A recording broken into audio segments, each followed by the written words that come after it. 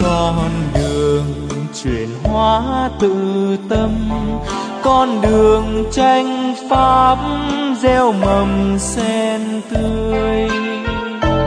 Đóa hoa nở rộ cho người, ba thời tỉnh thức an nhiên nụ cười.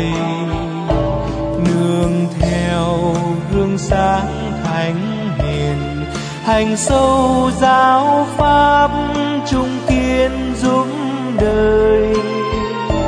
Tu cho an lạc người thế gian thông thường họ không hiểu phật pháp. Họ không tin phật giáo. Họ cầu tài phú. Cầu thông minh trí tuệ. Cầu khỏe mạnh sống lâu họ có cái tâm nguyện này để mong cầu. Thế nhưng chưa chắc gì có thể đạt được. Nhưng nếu y theo phật pháp mà tu học nhà phật thường nói trong cửa phật có cầu ắt có ứng. Lời nói này là thật không phải là giả. Có cầu ắt có ứng. Cầu tiền của được tiền của. Cầu phú quý được phú quý. Cầu con cái được con cái. Cầu trường thọ được trường thọ. Không thứ gì là cầu không được. Thế nhưng ngay lúc bạn ở trước mặt phật bồ tát cầu xin mà bạn không nhận được là do nguyên nhân gì vậy? Bởi vì bạn xem phật bồ tát là một vị thần hướng đến thần mà mong cầu phật bồ tát là người rất vĩ đại, đem ngài ép xuống thành vị thần. Và tưởng tượng xem, bạn đã sai rồi. Cho nên bạn cầu không được. Phải nên cầu như thế nào? Tuân thủ đạo lý mà phật đã dạy cho chúng ta. Chúng ta phải thấu hiểu phương pháp đã dạy cho chúng ta. Như lý như pháp mà cầu. Vậy thì nhất định cầu được. Như lý như pháp tôi lại nói với các vị không phải hướng đến phật bồ tát mà cầu là hướng đến chính mình mà cầu. Cho nên phật pháp gọi là nội học phật pháp dạy người từ nơi tâm tánh mà cầu. Không phải hướng bên ngoài. Hướng ngoài đó gọi là ngoại đạo. Giả như chúng ta không biết hướng nội mà cầu, không biết được cầu chính mình. Đi cầu với thích ca mâu ni phật, hướng đến bồ tát quán âm mà cầu. Bạn đã đang hành ngoại đạo. Bạn hoàn toàn hiểu sai bổn ý của phật phật dạy bạn bạn hoàn toàn hiểu sai và làm sai. Cho nên trong phật pháp gọi là ngoại đạo. Không phải là chỉ các tôn giáo khác. Việc này các vị nên hiểu rõ. Ý nghĩa của chữ ngoại đạo là ngoài tâm mà cầu pháp. Bạn không biết được, phải từ tâm tánh của bạn mà cầu. Bạn đến bên ngoài mà cầu, đi gọi ngoại đạo. Trong phật môn, định nghĩa ngoại đạo là cái ý này vậy thì thế là chúng ta đi quan sát quan sát người học phật. Có mấy người không phải ngoại đạo. Học phật đều học thành ngoại đạo, thì họ làm sao có thành tựu gì? Do đó, cho dù khổ tu cả đời, vẫn cứ phải luân hồi sáu cõi. Nếu bạn hỏi, do nguyên nhân gì vậy? Bởi vì họ hiểu sai chân thật nghĩa của như lai. Họ học là ngoại đạo là ngoài tâm mà cầu pháp. Ngoài cái tâm này mà cầu pháp, thực tế ra mà nói, hiện nay rất là phổ biến. Khi vừa bắt đầu học phật, thì biến thành ngoại đạo. Vừa mở đầu là gì? Thọ quy y. Tam quy truyền thụ này chính là bảo bạn đi làm ngoại đạo. Vì sao vậy? Quy y phật, bạn xem phật ở nơi đó đi quy y ngài tượng xi măng, từ gỗ, từ thân còn khó giữ. Vậy mà bạn đi quy y. Quy y pháp là kinh điển. Từ xưa đến nay, kinh điển này bị người ta hủy diệt, thiêu đốt biết bao nhiêu lần. Trong lịch sử trung quốc, tam võ nhất tông. Vậy có thể nương tựa được không? Có rất nhiều người trong nhà tỉnh một bộ đại tạng kinh cúng ở nơi thờ phật bồ tát, ở trong nhà họ để bảo hộ cho họ. Đại tạng kinh trước giờ chưa hề xem qua, cũng không cho người khác mượn xem, để nó ở đó sinh ra sâu mọt. Còn nói phật bồ tát ở trong nhà họ bảo hộ cho họ đây là mê tín. Quy y tăng tăng là một người xuất gia, người xuất gia phàm phu. Ta quy y gì nào đó ta quy y một vị pháp sư nào đó có đáng lo không? Ngoài tâm mà cầu pháp, phật pháp tăng đều biến thành bên ngoài. Vừa thọ tam quy thì liền thành ngoại đạo. Nếu như phật nhìn thấy cái hiện tượng này, nhất định sẽ lắc đầu rơi nước mắt. Làm sao có thể biến thành hiện tượng kỳ quái này? Cho nên chúng ta biết được, quy y tam bảo tam bảo là tự tánh tam bảo. Phật là gì vậy? Tự tánh giác. Giác mà không mê. Đây là phật. Pháp là chánh. Chánh tri, chánh kiến. Chánh mà không tà. Đây là tự tánh pháp bảo. Tăng là thanh tịnh. Sáu căn thanh tịnh một trần không nhiễm. Thực tế mà nói, bồ tát đại thế chí dạy chúng ta phương pháp niệm phật gom nhiếp sáu căn tình niệm liên tục. Đó là tự tánh tăng bảo. Nếu như là nói phương pháp, đó là pháp bảo. Nếu nói bản thể của nó là phật bảo. Hai câu nói này đều đầy đủ tự tánh tam bảo. Phật dạy chúng ta như vậy mà quy y, không phải quy y tam bảo bên ngoài. Quy y tam bảo bên ngoài, không hiểu được tam bảo bên trong, vậy thì đều biến thành ngoại đạo do đó bạn nói bạn học phật có thành tựu. Bạn có thể thay đổi thể chất, cải biến thể chất. Đây là câu nói rất phổ biến hiện nay. Người chân thật học phật, thể chất nhất định có thể thay đổi. Thay đổi tâm lý, thay đổi thể chất. Việc này là một người học phật. Đây gọi là đắc pháp. Công phu đắc lực. Tất nhiên có hiện tượng này. Cũng chính là nói thân thể của bạn càng ngày sẽ càng tốt hơn. Dung nhan của bạn cũng sẽ ngày càng tỏa sáng. Không phải do phật bồ tát bảo hộ. Cho rằng là phật bồ tát gia trì, phật bồ tát bảo hộ lại là ngộ nhận từ đâu mà được vậy? Tâm của bạn càng ngày càng thanh tịnh, càng ngày càng chân thành, càng ngày càng từ bi. Tướng tùy tâm chuyển. Tâm thay đổi rồi thì tướng mạo sẽ thay đổi thôi. Đạo lý chỉ là như vậy. Đây là phật dạy cho chúng ta chúng ta hiểu rõ đạo lý này thì sẽ biết được cách làm, đương nhiên đạt được hiệu quả. Đây là ân đức lão sư dạy cho chúng ta. Chúng ta buổi niệm không quên cảm ơn đối với lão sư. Là cái ý này. Cho rằng phật gia trì bồ tát bảo hộ đều gọi là mê tín.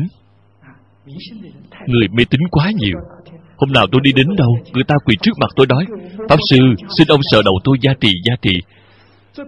Sờ đầu nhiều thì tay không còn sạch sẽ, dễ dàng truyền sang bệnh truyền nhiễm. Việc này cũng gọi là gia trì sao? Việc này là mê tín, mê đến trình độ như vậy. Việc gì gọi là gia trì? Giảng đạo lý cho bạn nghe, truyền đạt cho bạn phương pháp đây gọi là gia trì. Không phải là xoa xoa đầu. Như vậy mà gọi là gia trì. Đó là mê hoặc điên đảo, hiểu sai ý phật.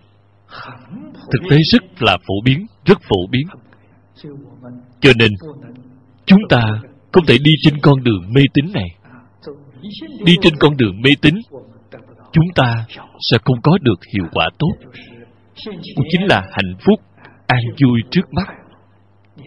Bạn sẽ không đạt được bạn cũng không đạt được mọi việc thuận lợi. Nhất định phải tuân thủ lý luận và giáo hối của phật. Cho nên phật pháp chú trọng ở chỗ giải và hành.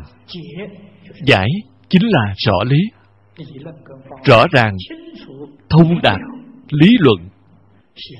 Cùng phương pháp hành là phải chân thật làm cho được nếu như nói là bạn hiểu được đạo lý, hiểu được phương pháp mà làm không được, thực tế ra mà nói, bạn vẫn chưa hiểu được đúng pháp. Quốc phụ tiên sinh tôn trung sơn đã từng nói qua, biết khó làm dễ. Câu nói này dùng trong phật pháp rất là thích hợp năm xưa, khi tôi mới học phật, thân cận đại sư chương gia. Chính câu nói này ta từng thỉnh giáo qua với đại sư chương gia. Biết là thật khó, làm thì dễ. Cho nên, người chân thật hiểu biết, làm gì có việc không làm được. Người không làm được, thành thật mà nói họ nói là họ biết, thì không phải vậy không thấy được là họ thật biết. Thật biết, nhất định sẽ làm đến được. Ý nghĩa này, trong kinh pháp cú của phật giáo cũng có. Là phật nói. Phật nêu ra rất nhiều rất nhiều thí dụ.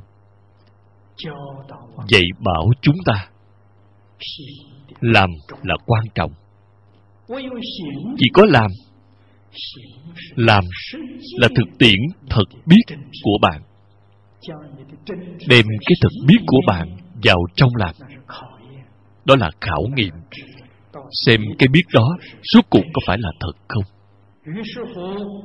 Thế cho nên, biết và làm hỗ trợ lẫn nhau.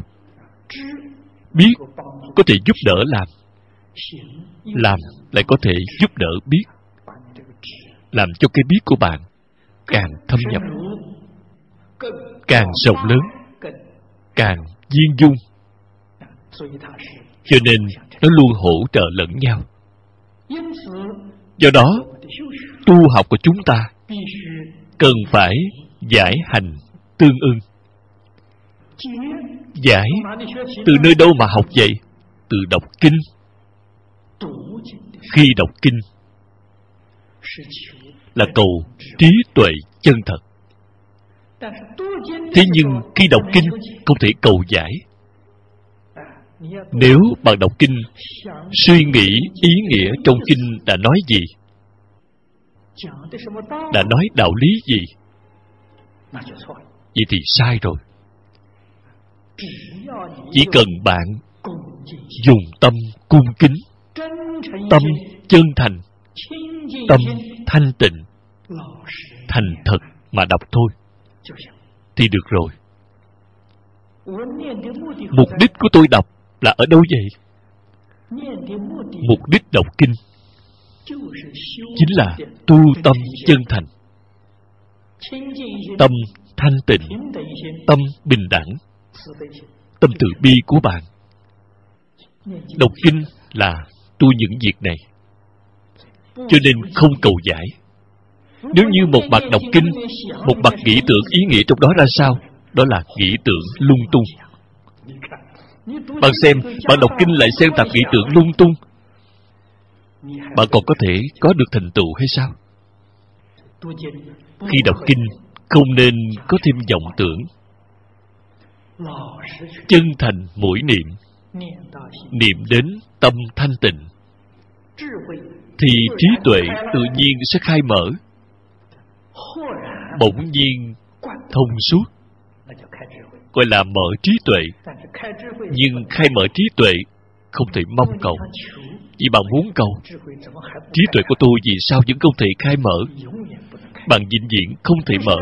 Vì sao vậy? Vì trong đầu bạn xen tạp thêm vọng tưởng trong đó rồi. Vọng thì không thể mở được trí tuệ chân thật. Khi vọng diệt hết rồi thì chân xuất hiện thôi. Đây là bí quyết của các đại đức xưa, dạy bảo cho chúng ta học. Quả thật đây là phương pháp hay. Cho nên đọc kinh bạn phải biết đọc. Khi muốn hiểu, thì đó không phải là đọc kinh. Mỗi một ngày bỏ ra một chút thời gian để chuyên nghiên cứu, đó không phải là đọc kinh là cầu giải. Nghe giảng cũng là cầu giải. Ở trong quá trình sơ học của chúng ta, phải lấy đọc kinh làm chủ đạo. Đọc kinh là cầu căn bản trí. Không có vọng tưởng, không có phân biệt, không có chấp trước. Bạn xem vậy thì tự tại. Đi gọi là chân thật hưởng thụ. An lạc thành thơi sửa mình, sửa trước, sửa người, sửa sau. Nhiễm mô cùng tài bởi ta, những điều hung ác gian ta hãy quên. Gắng công gìn rơi vững bền tín tâm thanh tịnh vượt trên mê mơ giống như loài cỏ cách tha. Những người ác tuệ gian tà về đâu? Màn khinh giao pháp nhiệm màu, chuốc vào đau khổ, lún sâu luân hồi.